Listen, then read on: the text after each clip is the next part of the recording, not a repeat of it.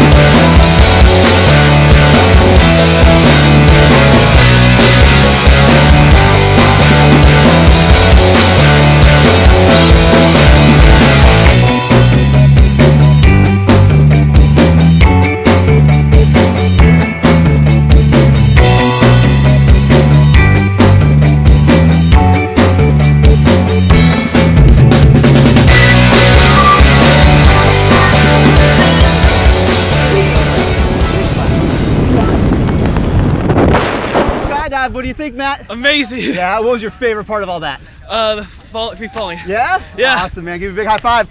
Big thumbs up. Say blue skies. Blue skies. Skydive Taft. We'll see ya.